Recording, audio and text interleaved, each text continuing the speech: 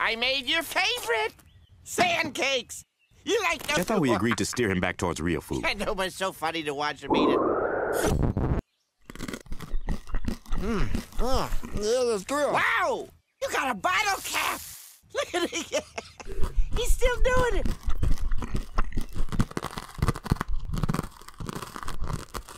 Wait a second.